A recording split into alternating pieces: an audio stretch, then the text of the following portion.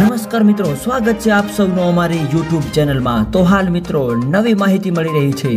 તો વિડીયોને લાઇક કરજો અને તમારા મિત્રોને શેર કરજો તેમજ ચેનલમાં નવા હોય તો ચેનલને સબસ્ક્રાઇબ કરી લેજો અને કોમેન્ટ કરજો. તો હાલ મિત્રો આગામી ચોવીસ કલાકની અંદર ભારે તોફાન સાથે વરસાદની આગાહી અને સાથે સાથે ત્રીસથી ચાલીસ કિલોમીટર પ્રતિ કલાકની ઝડપે ફૂંકાશે પવન.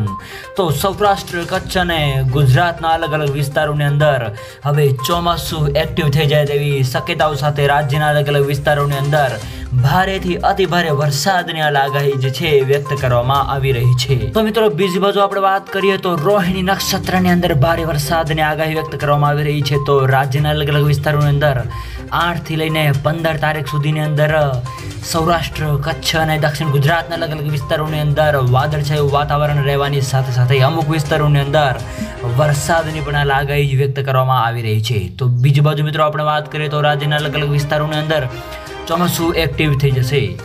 ગુજરાતના ઘણા વિસ્તારોની અંદર હાલની આપણે વાત કરીએ તો વાદળછાયું વાતાવરણ જોવા મળી રહ્યું છે અને સાથે સાથે અમુક વિસ્તારોની અંદર પ્રી મોન્સૂનની એક્ટિવિટીના ભાગરૂપે વરસાદ પણ નોંધાયો અહેવાલો મળી રહ્યા છે. તો બીજી બાજુ અલગ અલગ વિસ્તારોની અંદર હવે આગામી દિવસોની અંદર ગાજવીજ સાથે ભારે વરસાદની આગાહી વ્યક્ત કરવામાં આવી રહી છે.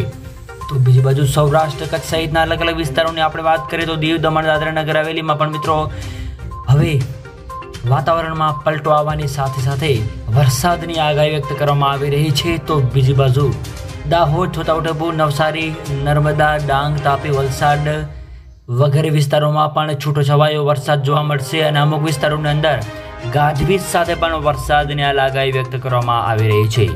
તો મિત્રો, ત્યાં સુધી જોડાઈ રહેજો અમારી ચેનલ સાથે અને વરસાદ તેમજ વાવાઝોડાને લગતી તમામ નવી અપડેટ માટે અમારી ચેનલને સબસ્ક્રાઇબ ન કરી હોય તો સબસ્ક્રાઇબ કરી લેજો અને આવો સાથ અને સહકાર પણ આપતા રહેજો. તો મિત્રો, આપ સૌનો ખૂબ ખૂબ આભાર.